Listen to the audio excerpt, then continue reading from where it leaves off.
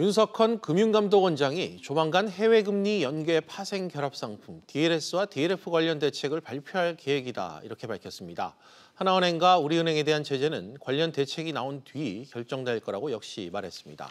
취재 기자 연결해 자세한 내용 들어보겠습니다. 임종윤 기자. 예, 임종윤입니다. 네, 윤석헌 금감원장이 조만간 이 DLF 사태와 관련해 대책을 내놓겠다 이렇게 밝혔다고요? 예, 그렇습니다. 윤석헌 원장이 오늘 오전에 여의도 63빌딩에서 열린 제4회 금융인월 기념식에 참석을 했는데요. 어, 뒤에 기자들과 만나서 금융위와 조만간 상의를 해서 DLF 대책을 발표할 계획이다 이렇게 얘기를 했습니다. 해당 상품을 판매한 하나와 우리은행에 대한 제재에 대해서도 일단 대책이 나오면 어, 그림이 나올 수 있다 이렇게 말했습니다.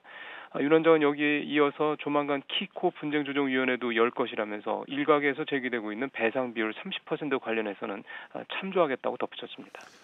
네, 또 윤 원장이 DLF 관련 자료를 삭제한 이 하나은행에 대해서는 검찰 고발 여부를 검토하고 있다고요? 예, 그렇게 얘기했습니다. 어, 검찰 고발 여부를 잘 살펴보고 있다 이렇게 얘기를 했는데요. 어, 또 지성규 하나은행장, 손태승 우리은행장 등 DLF 관련된 은행들 행장에 대한 제재에 대해서는 좀 더 고민을 해야 한다면서 아직 결정된 바는 없다 이렇게 얘기를 했습니다. 어, 금감원은 현재 하나은행의 자료 삭제가 검사 방해를 위한 의도성이 있었는지 여부를 집중적으로 검토하고 있습니다. 임 기자, 또 투자자들의 가장 큰 관심은 과연 얼마나 배상을 받을 수 있느냐 이 부분 아니겠습니까? 그렇습니다. 예. 그 현재 시장에서는 피해액의 70% 이상을 배상할 수 있다라는 공고도 어, 그런 권고가 금감원에서 있다는 얘기까지 나오긴 하는데요. 어, 지난 21일 국감에서 윤석헌 금감원장도 이런 전망을 참고하겠다 이렇게 언급을 했습니다. 직접 들어보시겠습니다. 지금 70%를 말씀하셨는데 그 부분도 어, 저희들 나름대로 어, 여러 가지 가능성을 다 열어놓고 어, 검토를 하도록 하겠습니다.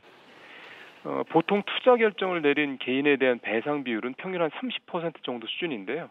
어, 참고로 지난 2014년 있었던 동양그룹 사태 때는 배상 비율이 평균 20% 초반에 그치기도 했습니다.